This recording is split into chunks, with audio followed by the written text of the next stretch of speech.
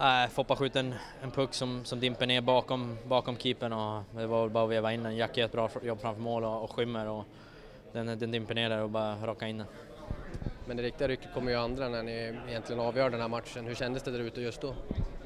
Nej, otroligt skönt. Momentumet kommer där eh, efter, efter PK. Där, eh, vi gör ett grymt jobb när vi har fyra minuter på PK. Och våra våra PK-spelare riktigt kuggar i varandra och, och gör ett grymt jobb eh, i pressen uppåt. Och Mickis får ett friläge och, och Magnus tänker dit returen. Det tog väl momentumet över på vår sida. Och jag vet inte om det var 2-0 eller 3-0 men det, det sätter ju dem ner i skosulorna och vi, vi sköljer på där.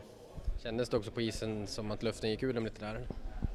Ja, men lite grann och så får vi ett, ett snyggt powerplay-mål som vi gör och sen 4-0 inför tredje. Det, det, är klart att det är tufft för dem att, komma in med 4-0 i baken, jag vet hur det känns själv. Och det, det, de tar det byte för byte, de har lägen i tredje också men eh, Anders står ju på huvudet och gör några riktigt bra räddningar.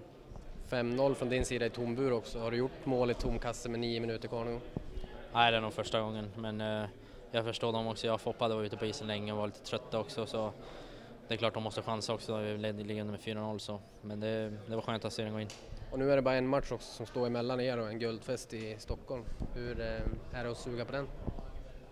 Nej, jag försöker inte tänka så långt fram. Det är klart att det skulle vara kul men eh, vi, får, vi får ta det lugnt här och se vilka vi får möta först och sen, sen gå därifrån och, och kolla vad, vad det blir.